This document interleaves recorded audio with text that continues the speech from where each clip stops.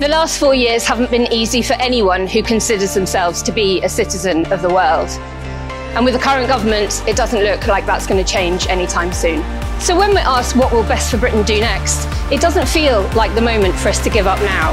Will we shut up shop or will we fight on? The answer is easy. We haven't given up, and neither have you. We will continue standing up for a healthier, happier and more equal society. Standing up for women's rights and equality for all. Standing up for global cooperation on climate change. Protecting our National Health Service. Standing up for equal votes and a fairer voting system.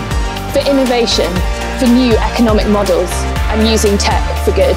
We will defend civil liberties and the right to protest. Standing up for the refugees and those in need. We will continue fighting to make Britain a compassionate country.